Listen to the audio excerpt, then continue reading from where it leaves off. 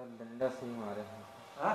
डंडा से राड से मारे राड से मारे तो ठीक है अब साहब लोग तो होगा तो जो है। डंडा तू समय बताया क्या?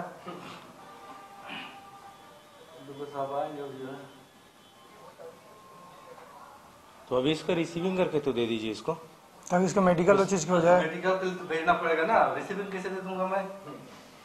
कैसे दे दूँगा? मारपीट की बात कर रहा हूँ मतलब ऐसे ही पड़ा रहा है। मारपीट में कैसे आप रिसीविंग नहीं दे सकते हैं। अरे क्यों नहीं दे सकते? अरे भाई अब इमरजेंसी होगा कि नहीं होगा? तो पहले इसका रिपोर्ट तो दर्ज करेंगे ना। हाँ, तो पहले रिपोर्ट तब तक मतलब क्या बोलते हैं वो ऐसे ही पड़ा रहा है। नहीं हाँ, तो नहीं उसका मेडिकल तो बात भेज दीजिए ना। ये आया है मार खा के ये विक्टम है। और विक्टम अपना रिपोर्ट दर्ज कराना चाह रहा है तो आप रिपोर्ट दर्ज नहीं करेंगे। अरे साहब आएँगे